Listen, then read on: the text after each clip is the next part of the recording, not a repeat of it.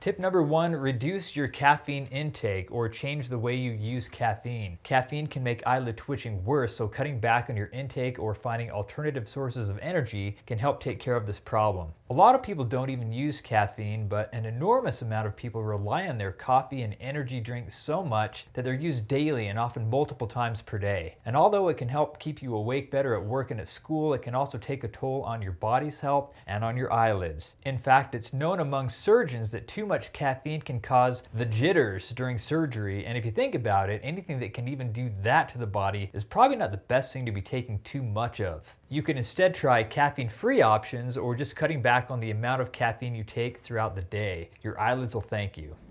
To watch the entire video, click the link in the description below.